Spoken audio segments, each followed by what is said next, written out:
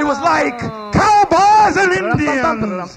And he was the whole 10 cavalry diving down into her ravine, raising dust in a surprise swoop attack that left her laying there, bent back, her eyes all convulsive love spasms. And when the big guns went off, his coming was like a Gatling, tearing her little target apart.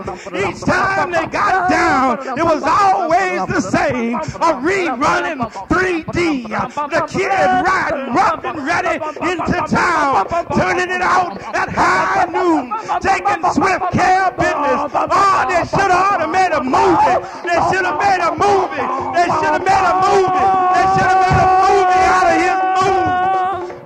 Made a movie out of his move.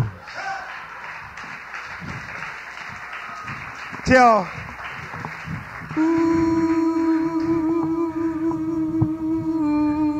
till the day till that day uh, she wouldn't roll with his punches didn't feel like faking it anymore refused to be the stunt man taking dives and doing what she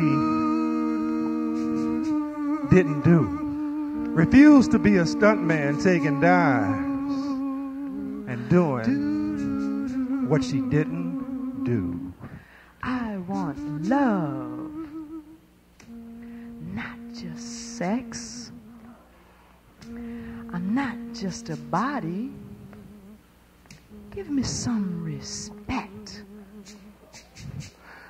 She, she knew there was no easy way to release it to Romeo without putting his love lights out. So she simply said, very quietly, Harry,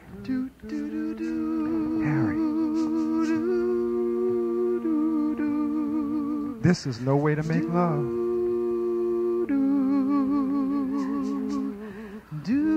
Like a silent star in the age of talk is unable to learn new lines.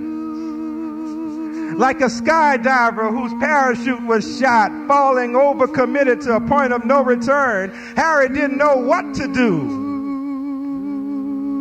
So he called her Bridget. But it was Fanny for his toy balloon. The film had rolled to the end of the reel. Harry's hard humping had become a fantasy that no one would any longer pay to see. Yet Harry sat nonetheless, incredulously contemplating a blank screen. Unable to figure out why the show wasn't going on. He had always thought sex was like, well, it was like what he saw in the pictures.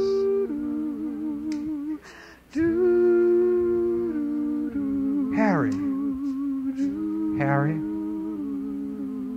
talk to me. Love, not just sex. Talk to me, Harry. I'm not just a body. Give me some respect.